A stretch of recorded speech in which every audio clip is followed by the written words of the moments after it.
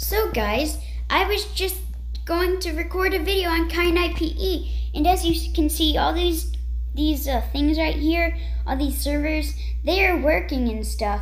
Like if I try to join like um, Nether games, I guess it's gonna let me join. See, locating server, generating world, done.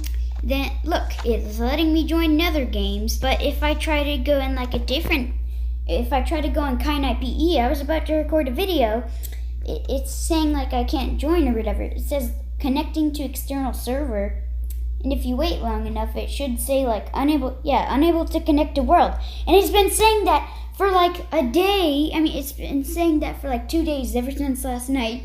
And it's still, and I was hoping it would get fixed, it's not working. It's letting my friend Blaze Master join and stuff, but it Kyanite PE moderators are watching this. Um, uh, if you know how to fix it, please fix it, please.